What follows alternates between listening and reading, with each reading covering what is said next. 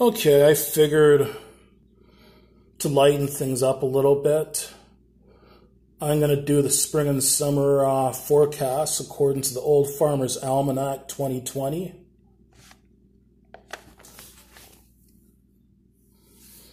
Like, I know that the world is going through this COVID 19 crisis right now, and there's a lot of depressing news. Hopefully, I can bring you some good news well, there's the weather, so unfortunately, there there might be some bad news along with that good news.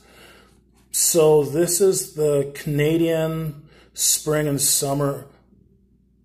This is the Canadian uh, weather forecast for spring 2020 and summer 2020, according to the Old Farmer's Almanac for 20 for the year 2020. So starting with Atlantic Canada. For spring, April and May will be cooler than normal, with precipitation above normal in the north and below normal in the south. Okay, for June 2020, the temperature will be 14.5 degrees Celsius. That will be the average temperature for the month for Atlantic Canada, and that temperature is considered average. Precip will be 75 millimeters, which is 25 millimeters below average. June 1st through 5th, rainy periods and cool. 6th through the 13th, isolated showers, turning warm. 14th through the 18th, sunny, cooled, and hot. 19th through the 25th, a few showers in the north, sunny in the south, and warm. 26th through the 30th, showers and warm. July 2020. So temperature will be 19 degrees Celsius, which is one degree above average. Precip will be 115 millimeters, that's 115 millimeters, which is 30 millimeters below average. The 1st through the 10th, Sunny and hot in the north, showers and cool in the south. The 11th through the 20th, scattered showers, cool then hot.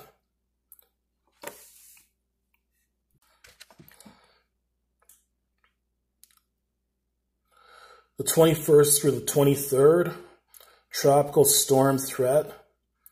And the 24th through the 31st, sunny and warm.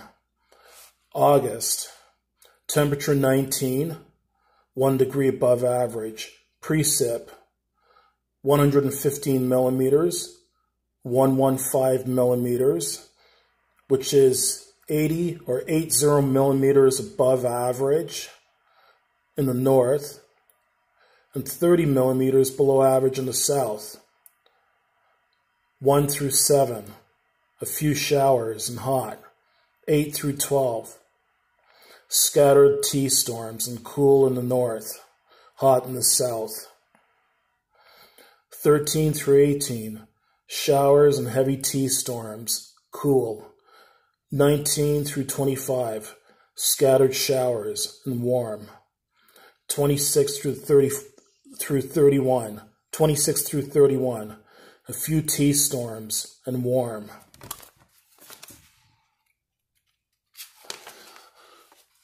So, region number two for Canada, and this is southern Quebec. April and May will have temperatures below normal in the east and above normal in the west, and be drier than normal.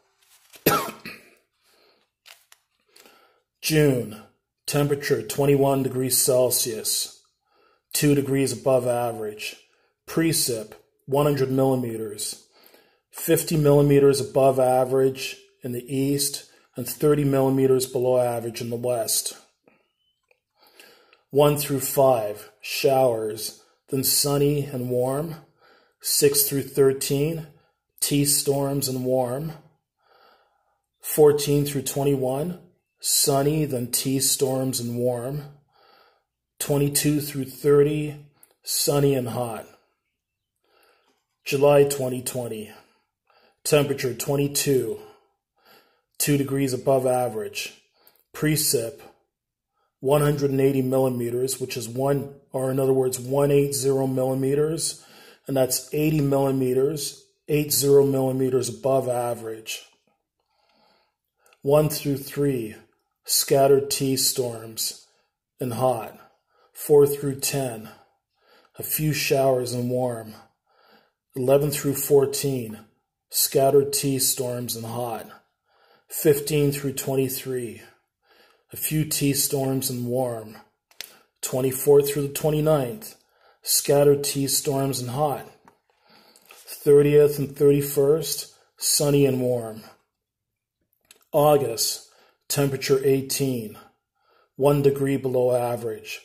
Precip, 80 millimeters, 20, which is 20 millimeters below average. First through the third, sunny and hot. The fourth through the twelfth, scattered T, storms and warm. the 13th through the 21st, a few showers, cool, then hot. 22nd through 28th, sunny in the east, scattered T, storms in the west, and cool. 29th through the 31st, showers and cool.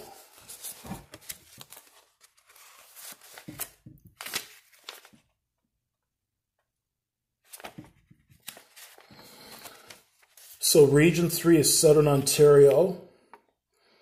April and May will be warmer than normal, with precipitation above normal in the east and below normal in the west. June 2020, temperature 18.5, 1 degree above average. Precip 100 millimeters, which is 20 millimeters above average. First through the fourth, showers and cool. Fifth through 14th, scattered T storms and, and cool. 15 through the 20th, a few showers and warm. 21st through the 30th, a few T storms and hot. July, temperature 22, 1 degree above average. Precip, 100 millimeters, which is 50 millimeters above average in the east and 10 millimeters below in the west. First through seventh, a few showers and warm. 8th through 13th, scattered T storms and hot. 14th through 18th, T storms and warm. 19th through 24th, isolated T storms turning hot.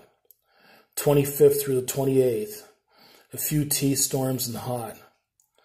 29th through 31st, sunny and cool. August, temperature 20, 1 degree below average in the east and 1 degree above average in the west. Precip, 95, 95 millimeters, which is 60 millimeters above average in the east and 30 millimeters below in the west. First through six, showers and hot. Seven through fourteen, T storms, then sunny and cool. 15 through 22nd, a few T storms and warm. 23rd through the 31st, showers and cool. Okay, so number four is the prairies.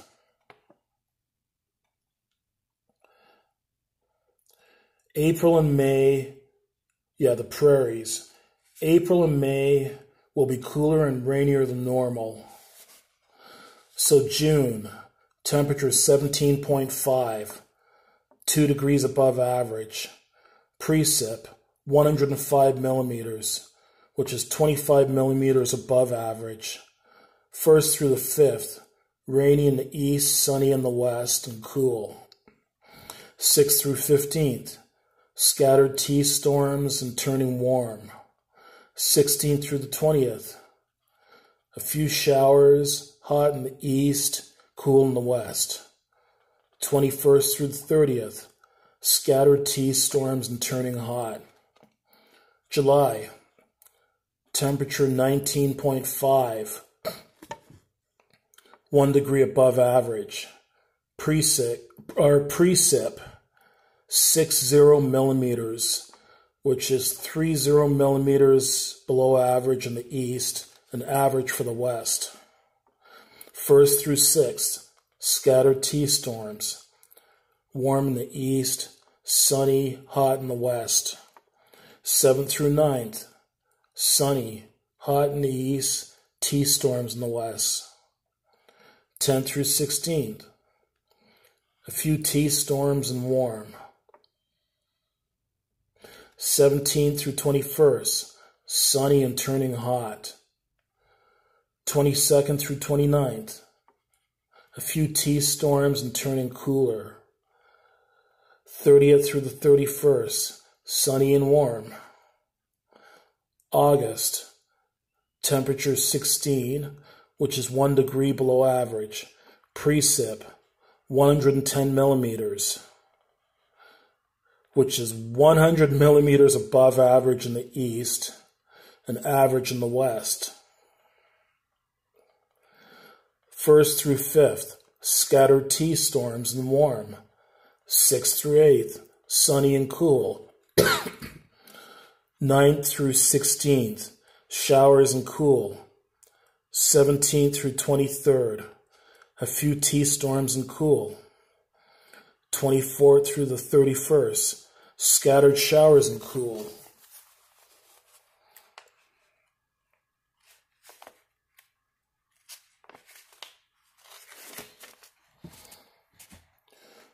So finally, region number five, British Columbia. Region number five is southern British Columbia. So April and May will be slightly warmer than normal, with precipitation above normal in the north and below normal in the south. So June, temperature 16, 1 degree above average. Precip, 105 millimeters which is 70 millimeters above average in the north and 20 millimeters below average in the south. 1st through 5th, sunny and warm. 6th through 14th, showers, then sunny and cool. 15th through 22nd, showers and cool. 23rd through the 30th, sunny and turning warm. July, temperature 19, 2 degrees above average. Precip, 65 millimeters, which is 10 millimeters above average.